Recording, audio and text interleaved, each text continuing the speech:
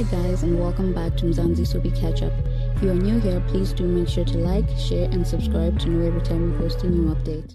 Monday, Soka has nightmares about having HIV and loses his cool with Sandile, and he then tells Molefe that the girl he had unprotected sex with refused to get an HIV test, and now he's left waiting until he can get his own test.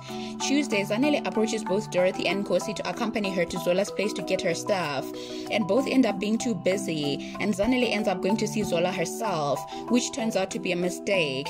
Wednesday, Zola professes his love for Zanele, but the conversation takes a turn when she refuses to stay, and Zola decides that if he can't have Zanele, then no one can, and he intends to kill her and then himself. Thursday, Zanele confronts Zola about what he did, and she tells him she's pressing charges, while Faith reassures Zanele that she's not to be blamed for what happened with Zola, and he took advantage of her.